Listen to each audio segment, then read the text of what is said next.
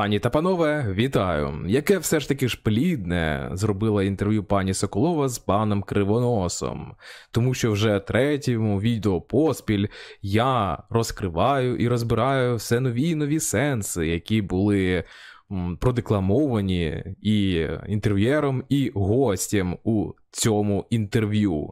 Першу частину, перше відео розбору цього інтерв'ю, і другу частину розбору цього інтерв'ю ви можете знайти в описі під цим відео і поглянути, якщо ви їх не бачили. У першій частині ми розбирали особистість пана Кривоноса і робили висновки щодо неї. А у другій розуміли, який контент продукує пан Кривонос, які заяви він робить, і який характер характер мають ці заяви. Спойлер, вони мають конспірологічний характер, і це насправді не дуже ок. Що ж ми будемо розбирати у цьому відео? Ми продовжимо розбиратися у сенсах, і також важливо розуміти у різноманітних наративах, що висловлювали як і пані Соколова, так і пан Кривонос. І наприкінці зробимо вже остаточні головні висновки стосовно фігури пана Кривоноса.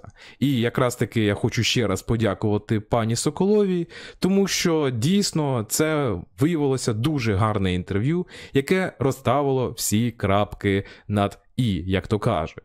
А перед тим як ми почнемо, я прошу вас підписатися, поставити лайк і не забувати коментувати.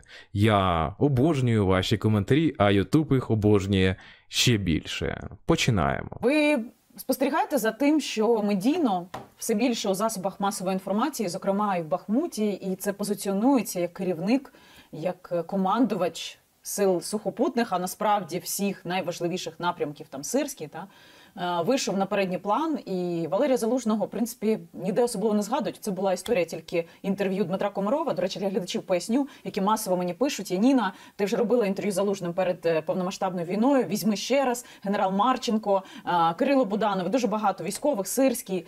Ну з Валерієм Залужним я дуже хороших стосунках, але наскільки мені відомо, неможливо наразі нікому, окрім окремих осіб, записати, щоб ви розуміли з ним інтерв'ю. Зрештою, в принципі, неможливо, тому що вся е, тільки натяк на якусь критику е, і вся історія там твоєї неспівпраці з владою е, дає відповідь ні. Це ви просто щоб розуміли, що я це не роблю не тому, що я не хочу, просто немає такої можливості. Так, от про залужного хотіла спитати. Е, я уявляю, як йому важко насправді. Е, ви то теж маєте з ним там свою історію якихось дотиків стосунків. Е, як зараз е, влада намагається, на вашу думку, позиціонувати військове командування? Чи вам не здається, що залужний відійшов на другий план через його е, можливі ще вищі цифри рейтингів напередодні наступних президентських виборів, що може становити конкуренцію для Зеленського, незважаючи на те, що залужний жодного разу ще не оголошував, що він взагалі буде кудись балотуватися. По перше, почну з середини. Як не дивно, але я абсолютно можу повірити пані Соколові стосовно того, що вона хоче взяти інтерв'ю залужного. А ми розуміємо, що будь-який медійник зараз в Україні хоче взяти інтерв'ю у залужного. Це хай топ контент, це безапеляційна, як то кажуть, е, бомба інформаційна, яка дасть такому медійнику приплив аудиторії, мільйони переглядів, е, підписок, е, лайків, коментарів. Коротше, це буде надзвичайно важливий контент, і, можливо, одна з найкращих робіт цього журналіста під час цього повномасштабного вторгнення. Водночас я і повністю можу припускати, що умовна команда Зеленського не любить е, його опонентів з опозиційних е, політичних партій та каналів. Це не красить цих людей, умовно кажучи, це не робить їх благородними, як то кажуть, е, володарями. Це просто, як то кажуть, показує рівень, скажімо так, взаємодії з своїми опонентами. Проте, як то кажуть, і ті ж самі опоненти доволі серйозно не відрізняються якісно від своїх візаві. І якраз таки ця історія лише показує, на мою думку, характер взаємовідносин між е, цими угруповуваннями. Проте. Також, на мою думку, суб'єктивну, пан Залужний відверто має мало часу на те, щоб роздавати інтерв'ю. І як правильно зауважила пані Соколова, ось ці інтерв'ю пану Комарову, це відверто було, як то кажуть, виключення з правил, аніж само правило. Проте надалі варто розбити ось цю промову пані Соколови, скажімо так, у контексті питання до пана Кривоноса на дві частини. По-перше, стосовно пана пана Залужного, який, можливо, має рейтинги більше за Зеленського, і тому Зеленський, можливо, його боїться, і так далі. Це також продукування певного конспірологічного міту, тому що ми повинні з вами розуміти, що будь-який медійник, особливо в цей час, повинен опиратися виключно на факти. Все це лише не просто здогадки або там припущення, це, на жаль, створення альтернативної реальності, оскільки. Пан Залужний, як відомо з усіх е, публічних джерел, оскільки в цих публічних джерелах не з жодного разу не з'являлася подібна інформація, він ніколи не проявляв своє бажання піти політичним шляхом. До цього дня включно. І, на мою думку, і надалі не буде проявляти ось подібного бажання, тому що він отримав для, скажімо так, своєї історичної постаті гарну історичну місію. І дуже круто її виконує цю місію. І я думаю, що міняти, змінювати цю історичну місію на, умовно кажучи, політичний процес для нього взагалі немає жодного сенсу. І якраз таки з позиції адекватного медійника, умовно кажучи, потрібно було б ставитися надзвичайно скептично до подібних тез або взагалі не висловлювати їх. Так, Умовно кажучи, журналіст, інтерв'єр, враховуючи те, що умовна аудиторія цього журналіста цікавиться цим питанням, міг би поставити таке питання своєму гостю. Проте він повинен бути абсолютно скептичним до подібного питання і зауважити про це. Проте, як ми бачимо, це питання ставиться не скептично, і воно ставиться настільки так, що воно формує власну реальність в яку занурюється аудиторія, і це вкрай погано. Дивіться минуле відео, коли ми говорили про конспірологічне мислення. Дуже потрібно бути обережним з подібними висловлюваннями, з подібними, як то кажуть, історіями і так далі. Це, як то кажуть, порада будь-якій людині, що займається створенням контенту, тому що контент-мейкер відповідальний за те, що він говорить у публічний простір, відповідальний в першу чергу за те, що його аудиторія споживає його контент, і він, якби навіть не по закону, а по моралі несе відповідальність за свою діяльність. Третя частина про нашого, як то кажуть, улюбленого сирського. Чому улюбленого? Тому що про сирського і його інформаційну роль у публічному просторі носяться, починаючи, мабуть, з середини минулого літа. Тому що, о, значить, Опешечка висуває сирського, щоб замінити залужного, тому що залужний він дуже незалежний генерал, і він не підкорюється Зеленському, і тому вони хочуть поставити сирського, а сирський він повністю залежний від Єрмака.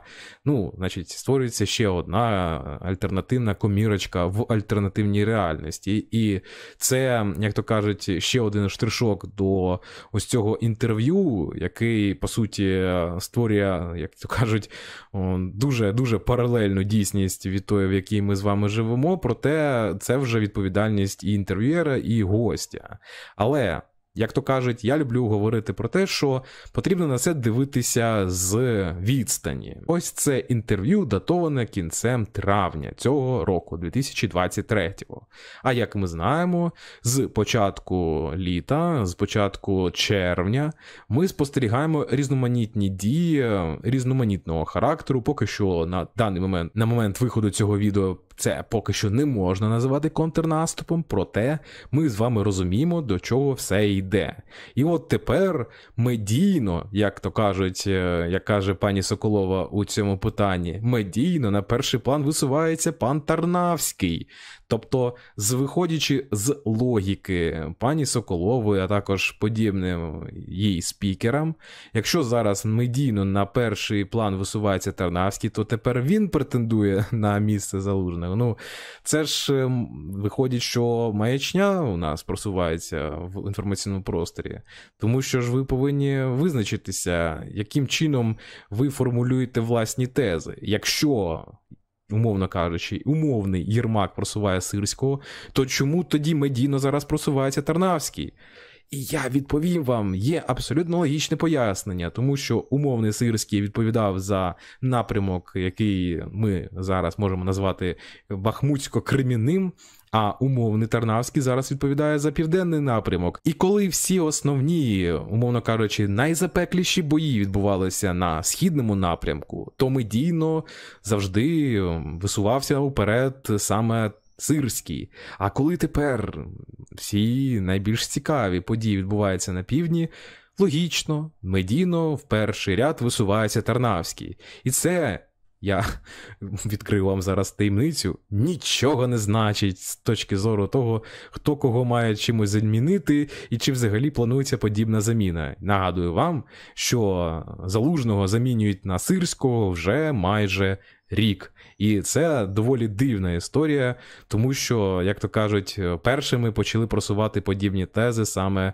наші вороги. І це також цікава, скажімо так, подробиця, цікавий штришок у це інтерв'ю. Не в тому плані, що пані Соколова повторює за росіянами, так, а в тому плані, що інколи тези, які вигідні умовно кажучи, опозиції, вони вигідні росіянам. І росіяни, бачучи те, що подібні тези викликають відклик у певної аудиторії, завжди.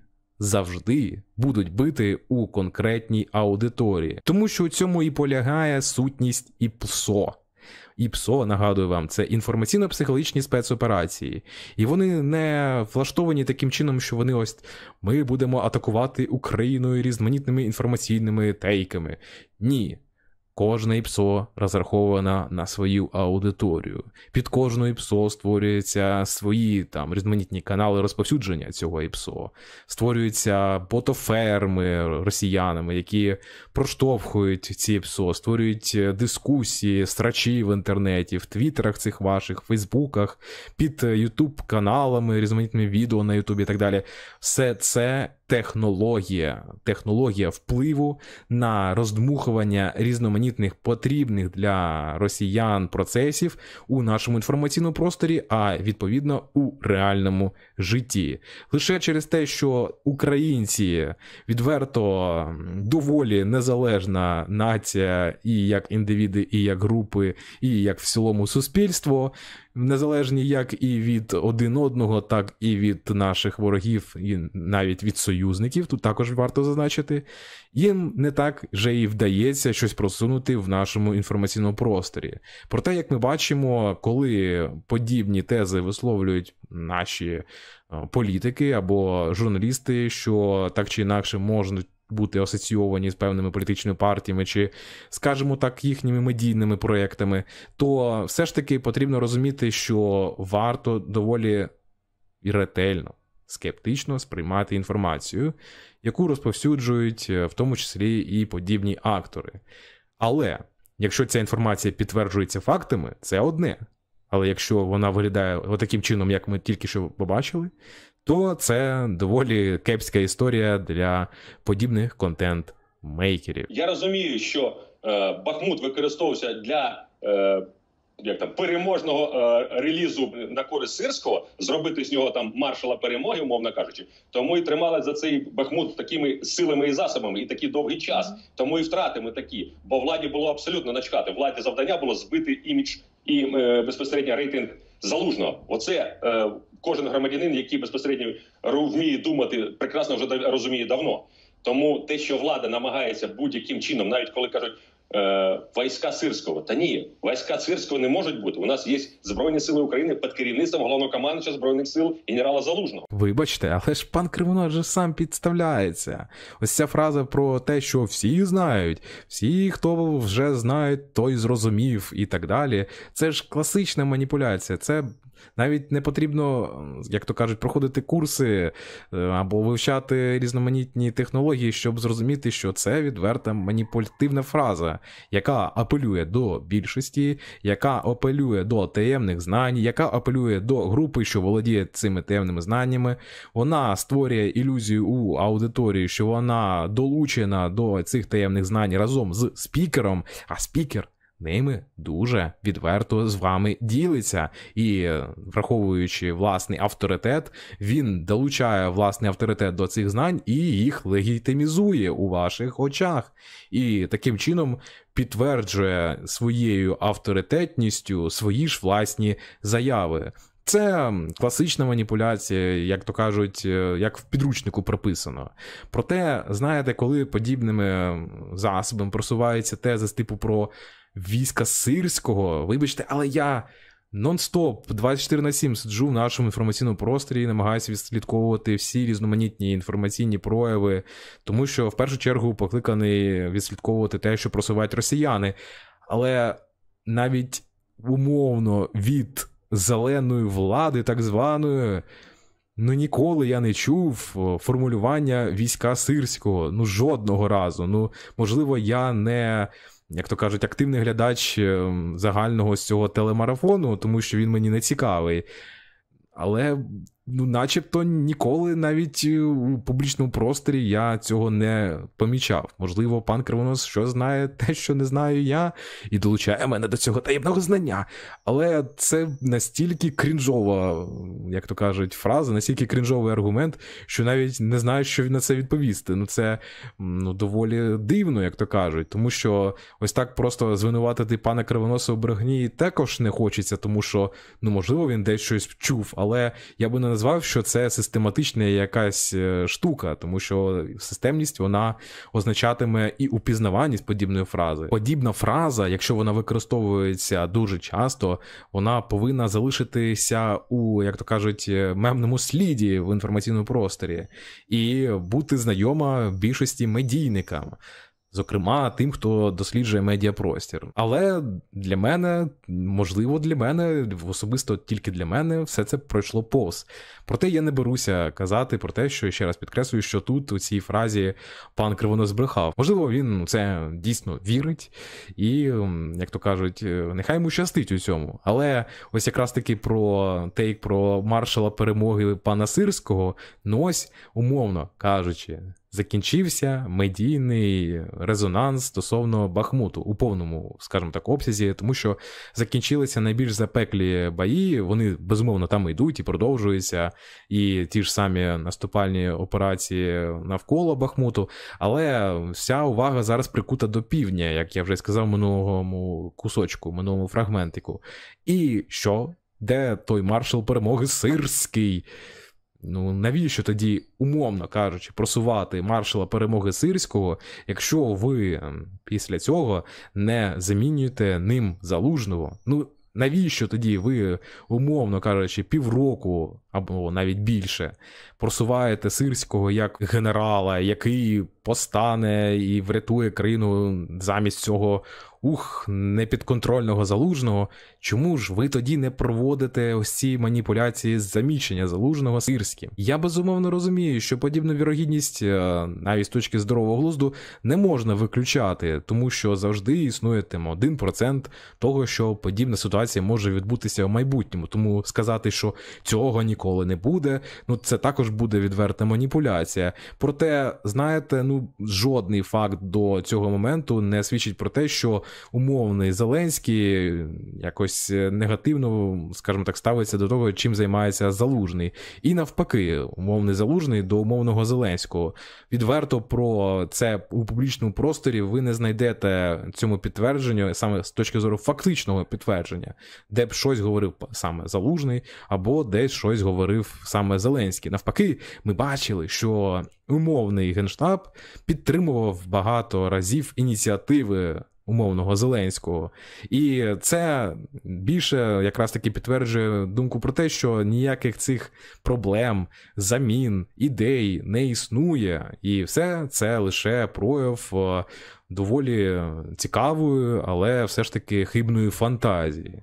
І, як то кажуть, майбутнє покаже, але все ж таки, пані та панове, це дійсно доволі тривожна ситуація, коли подібного рівня спікер генерал у відставці, продукує конспірологічні теорії і сам в них вірить, і заставляє внаслідок власного авторитету вірити в них аудиторію.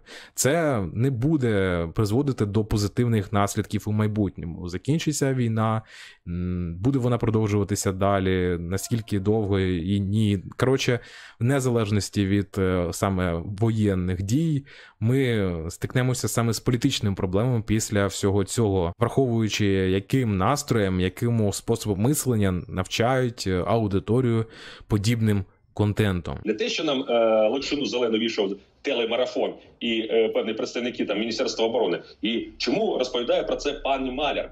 Вона воювала, вона має військовий досвід. Вона хто? Хто може її сприймати безпосередньо? Чому про це не говорять, е, не сприймають інформацію тоді генерального штабу і відсувають безпосередньо роль генерального штабу, який планує і відповідає за планування і керівництво всіми операціями? І знову інформаційна маніпуляція. Навіщо було створювати безпосередньо ті ж самі бригади е, наступу під керівним під егідою е, Міністерства внутрішніх справ і Національної гвардії? Шановні, а у нас що недостатньо бригад е, в збройних силах? Чому це не були бригади збройних сил? Це що формуються якісь заградотряди, які потім будуть захищати владу? І в разі того, якщо фронтовики повернуться і почнуть наводити лад в країні, це для чого зроблено? Це що за формування гвардії зелених панів? А навіщо це? Ну для того, щоб відвернути увагу від залужного на останньому етапі війни ввести ці бригади в бій і сказати, щоб вони перемогли. На той момент збройні сили можуть вичерпати свої ресурси. Це ж знову інформаційна маніпуляція, аби відтиснити перемогу і перемогу зробити тим, кому це вигідно. Владі, ось цей фрагментик він прям наочно показує, наскільки авторитет змінює значення і сенси слів, наскільки авторитет перебільшує значення слів, які декламуються певними особами, що володіють цим авторитетом або певними регаліями. Тому що якщо ви зараз передивитеся цей же самий фрагментик ще раз, але при цьому ви будете уявляти, що ви слухаєте не бойового генерала у відставці і не журналістку з величезним досвідом, регаліями, яка працює на центральному телеканалі, одному з, то ви будете слухати розмову двох звичайних людей, яку ви можете почути де-інде, на лавочці, на кухні. І ця розмова не викличе у вас благоговіння, якщо ви не знатимете, хто ці всі слова декламує. І це найбільш важливе, що ми можемо висловити, винести як виставки з цього інтерв'ю. Ми дійсно потім наприкінці відео ще раз про це прокажемо. Але все ж таки, це прям наочно показує цей фрагментик. Влада хоче винести собі зиск з перемоги. Перемога владі потрібна. Нічого собі откровення, як то кажуть.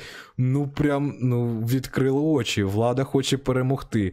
Ніфіга собі, це, ну що, тісно, нічого собі, прям. Ну, ні, я я, був я був шокований, коли це почув. Це прям. Це Дуже дуже жорстока, страшна правда. Ну, прям пан Кривонос дійсно вміє прям у серденько вразити своїми словами. А стосовно гвардії наступу, що у фантазії пана Кривоноса перетворюються у загряд отряди, це лише підкреслює те, що ми говорили у минулих відео, коли я вам доказав на прикладі слів пана Кривоноса про те, що він носій радянської ментальності, радянських міфів та стереотипів. І це важливо підкреслювати ще раз, тому що ось ця, скажімо так, сентенція про заглядотряди це типова радянська сентенція, яка перекочувала наразі до російського міту, тобто до російських стереотипів, до російської реальності.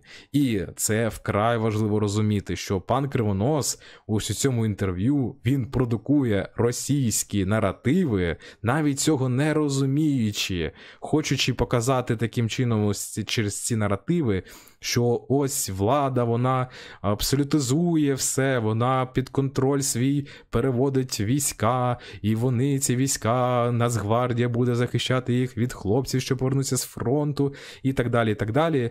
Він фактично демонізуючи цим тейком своїх противників з зеленої влади, він не помічає того, як у інформаційний український простір просуває ті ж самі російські наративи, які які характерні для ось цього заскорузлого е, бидлоплепса на території за перебріком. І ось підводячи рисочку під цими словами пана Кривоноса, я особисто для себе роблю висновок, що пан Кривонос, е, бажаючи, скажімо так, нанести певної інформаційної репутаційної шкоди клятій зеленій владі, не розуміє, яку шкоду він несе для власної аудиторії, що його слухає, тому що він поширює на цю свою аудиторію, що його підтримує, ті радянські російські слеш е, російські міфи, які і руйнують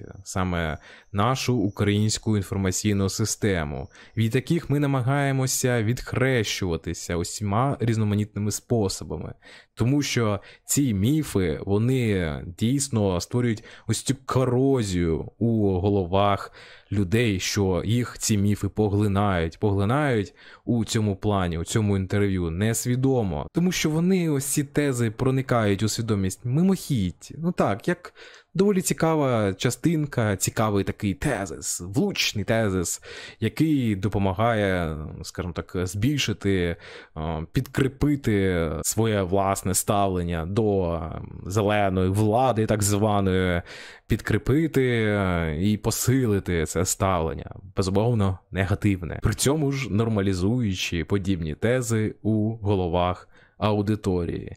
І, до речі, тут пан Кривонос доволі серйозно схожий на нашого улюбленого радянського школьника пана Арістовича, тому що він продукує ті ж самі радянські російські міфи у нашому інформаційному просторі. А це, як то кажуть, привід доволі значний для того, щоб замислитися. Павлін Олександр, що насправді сталося в Гостомелі? Чи правда, що Зеленський хотів звідти вилетіти до Європи щодо міфів про кримінальну справу проти вас? Мабуть, тоді питання про жуляни і про ті три літака е, українських мільярдерів, які були заправлені і я наказав знити злити з них пальне і поставити їх в ангар. А ось це родзиночка у цьому відео. Як ви знаєте, у форматі рандеву пані Соколова наприкінці ставить питання від аудиторії, які вони. Ця аудиторія у тому ж Твіттері чи у інших соціальних мережах задають пані Соколові, щоб вона їх задала гостю, який або яка прийшли на інтерв'ю до пані Яніни. І ви розумієте, що подібні ж запитання вони так чи інакше повинні проходити редактуру, тобто їх потрібно відібрати, зрозуміти, які питання будуть цікавими для гостя, щоб не перетворити інтерв'ю на каламбур. Але якщо ми прослухаємо уважно це питання, то воно ж якраз таки дуже круто вставляється у цю конспірологічну реальність, яка була продукована і створена ще давним-давно, але так чи інакше продовжується репрезентуватися у різноманітних висловлюваннях того ж пана Кривоноса, і не тільки.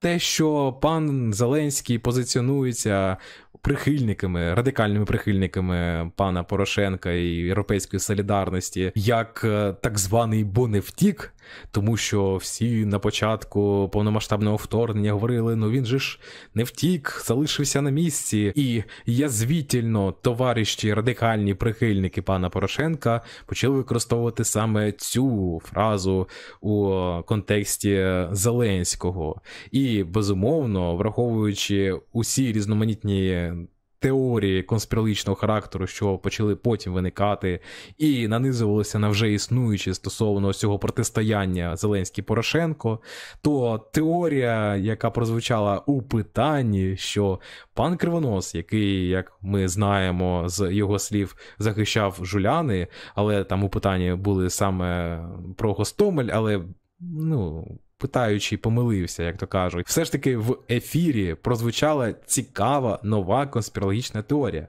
що пан Зеленський не втік. Тільки тому, що пан Кривонос захистив жуляни і злив, значить, е, керосин з приватних літаків мільярдерів, на яких це, значить, ваш Зеленський повинен був втекти з Києва. І тільки тому і тільки тому він не втік. Тому саме він був вимушений записувати всі свої відоси кожен день. Саме тому він був вимушений це все робити. І тільки завдячуючи пану Кривоносу, ми тепер дізналися всю правдиву правду. Тільки завдяки Кривоносу, все, що відбулося після 24 лютого все це стало дійсним тільки завдяки йому. Ну це прям реальна ж розиночка. Ну оцініть масштаб мислі, як то кажуть. Оцініть глибину занурення у власний паралельний всесвіт, у власну альтернативну реальність аудиторії, що дивиться подібних спікерів. І я вам не заздрю, пані та панове, тому що подібним чином можна пояснити будь-що, і це дійсно не так вже далеко до умовної теорії пласкої землі або інших витребеньок про Ватікан та англосаксів. І це, я не знаю, це погано чи добре.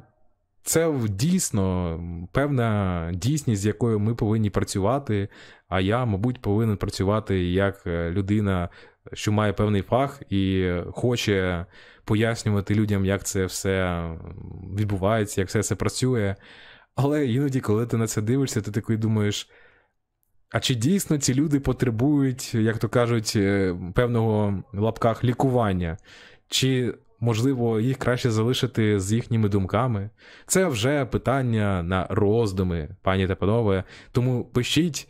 Що ви думаєте з цього приводу у коментарях? А я буду переходити до висновків, і висновки вони доволі значущі, як на мене. Ми вже з вами визначилися з тим, що пан Кривонос це доволі цікава, проте неординарна та контроверсійна особистість, яка має свої амбіції і мала, тому що він залишився працювати у РНБО після того, як пішов Порошенка з посади президента, а прийшов Зеленський, і пропрацював там доволі значний час поки він не був викинутий з цієї посади внаслідок конфліктів усередині тої ж команди Зеленського. І це говорить певні речі і про команду Зеленського, і про самого Кривоноса, який не зміг, е, умовно кажучи, просунути відстояти власні інтереси, власні принципи, або, можливо, настільки внаслідок власного характеру та амбіцій перегнув, е, як то кажуть, палку, що не зміг, як то кажуть, достукатися до інших сторін ось цього процесу прийняття рішень. Ми тут не дізнаємося істини, тому що кожна зі сторін буде просувати власну точку зору. Проте ми бачимо, що пан Кривонос дійсно відповідає подібним критеріям, подібним характеристикам, які я тільки що назвав. І безумовно, пан Кривонос хоче і хотів, і хоче, і буде хотіти не помститися, це доволі ну, таке зле слово, але поквитатися за те, що його, як він вважав, що він був правий, ну, скажімо так, поперли з влади і поперли з позиції, де він міг би приносити користь, як то кажуть, державі. І я якраз таки вважаю, що пан Кривонос дійсно вважає себе патріотом і дійсно вважає себе державником. Проте тут є якраз таки одне але все це, як то кажуть, переміщується з його переконаннями, стереотипами, міфами радянського гатунку, які він собі носить. Проте, як влучно було сказано. Ну, хто не народжувався у радянському Союзі, не зрозуміє людей, що там народилися, тому що все ж таки це, як то кажуть, відбиток певного часу, і можливо, це потрібно пропрацьовувати навіть з психологами, психотерапевтами, щоб позбутися ось цього ареалу тоталітарності, яка була так чи інакше проникнута в усі в усі простори суспільства того часу. І ось ці міфи, що залишилися у свідомості пана Кривоноса, це лише, як то кажуть, частина його особистості, про те, яка так чи інакше впливає на нього і дозволяє йому продукувати певні сенси, які насправді доволі є зазвичай неоднозначними, як ми виявили, виходячи з цього інтерв'ю. І на жаль, ще раз підкреслюю, на жаль, продукують конспірологічні теорії, тому що їх продукувати надзвичайно легко, і вони є зрозумілими і як тому, хто їх продукує, тому що ти створюєш певну теорію, як все працює, вона перегукується з твоїм досвідом, з твоїм розумінням, з твоїми принципами, стереотипами, бажаннями і так далі. так далі, так далі.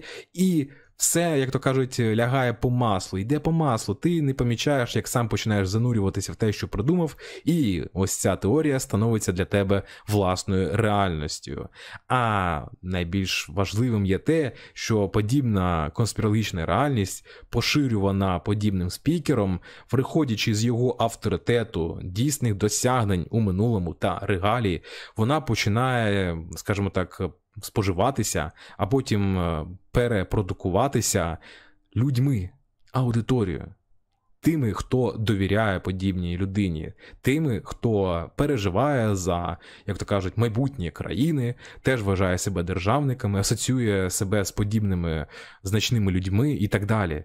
І як би то кажуть, якщо би це були мирні часи, ще раз повторюю цю тезу, яку я говорив у минулих відео то ці подібні витребеньки, створення альтернативних реальностей, вони не мали б такого значення в умовах, е, як то кажуть, мирного часу, тому що це була б частина саме політичного процесу. А політичний процес, давайте будемо відверті, він завжди пов'язаний з цими напівправдивими історіями, як то кажуть, відсилаємо нас усіх до історії Кюанону, трампістів, та і ті ж самі демократи у Сполучених Штатах теж не дуже дуже сильно відрізняється від тих ж самих трампістів у деяких, скажімо так, частинах саме продукування альтернативних реальностей для мирного часу та демократичного процесу. Це, на жаль, або на щастя, такі реалії це нормально. Але для умов війни, а особливо тих умов, коли під час цієї війни надзвичайно посилено працює по подібним вразливим, а людина, що відтворює, продукує або споживає конспірологічну теорію, вона надзвичайно є вразливою для зовнішнього впливу. По подібним аудиторіям працює наш ворог і намагається працювати дуже дуже ефективно, враховуючи, що він підтримує певні тейки, які продукуються о, спікерами у цієї аудиторії, які є важливими і визначальними для цієї аудиторії, то ми, і особисто я. Розумію, що ось такі тези потрібно розбирати, показувати, що вони не мають під собою жодного фундаменту, підґрунтя, що потрібно говорити, що подібні тези є небезпечними для обороноздатності, вони є доволі небезпечними для рівня підтримки вищого військово-політичного командування, від якого залежить якраз таки безпека життя і е, таких спікерів, і аудиторію, що підтримує подібних спікерів. Тобто, це вже не іграшки, це не жартики. З цього не варто глузувати і сприймати як таку ну доволі кумедну частину нашої реальності. Це дійсно потрібно проговорювати, на мою думку, особисто, і звертати на це увагу. Тому що коли людина не бачить альтернативного погляду на подібні погляди, вибачте, за повтор, то ми стикаємося з ситуацією, що люди такі які, не отримуючи альтернативного погляду, вони занурюються у цю конспірологічну реальність і потім з неї їх вигребсти, витягти надзвичайно складно. А це вже, як то кажуть, відіграє свою роль і у приватному житті подібних людей. Тому що, як я сказав вже і у минулому відео, конспірологічне мислення дуже серйозно впливає на якість життя людини, на якість її взаємодії з родичами, близькими, знайомими, оточуючими і так далі. Тому що, врешті-решт, подібні люди починають становитися вигнанцями у своїх рідних же ж колах, і це лише тільки завдяки власному специфічному мисленню та конструюванню альтернативної реальності. І це, на жаль, доволі значна проблема, окрім тих же ж проблем, що нам принесла війна. І тому саме тому я вирішив зробити розбір цього інтерв'ю. І ще раз дякую Яніні Соколові, тому що це інтерв'ю дійсно змогло розкрити пана Кривоноса у повній мірі. Так, у цьому ж плані розкрилася певним чином і пані Соколова, але це все ж таки, як то кажуть, інша історія. От такі висновки. Що ви думаєте з цього приводу? Також пишіть у коментарях. Мені дуже цікаво, що ви думаєте. Не забувайте поширювати це відео, якщо ви знаєте людей, що сповідують подібні, скажімо так, тези, наративи та проживають у подібній конспірологічній реальності. А також не забувайте підтримувати Сили оборони України, тому що саме завдяки ним ми можемо з вами проговорювати подібні слова, а не лежати мертвим, скажімо так, е, мертвими тілами у землі, враховуючи, які, скажімо так, ризики і які наслідки несла б за собою окупація росіянами цих територій. А тому підтримуємо Сили оборони України не тільки морально, а і фінансово. І не забувайте, пані та панове, що ми з вами незабаром побачимося.